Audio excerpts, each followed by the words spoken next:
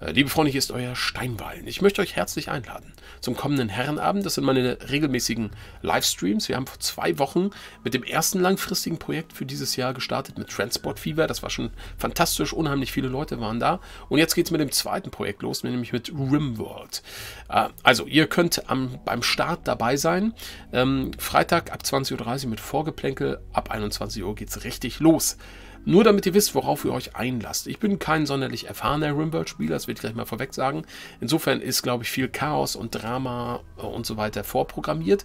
Und ich werde auch nicht mir irgendwie vorher eine ganz optimale Crew zusammenstellen, alles min-maxen und so weiter, ähm, sondern ich werde das so ein bisschen immersiver machen. Ich glaube, wenn man in so einer Rettungskapsel abstürzt, noch im, im, im Kälteschlaf oder sowas, äh, dann sucht man sich seine, seine Mitpassagiere nicht aus. Insofern tendiere ich zu einer zufälligen Charakterauswahl mit ein paar Einschränkungen und auch der Absturzort denke ich, könnten wir zufällig auswählen lassen, ähm, was natürlich das Ganze noch weiter chaotisieren wird.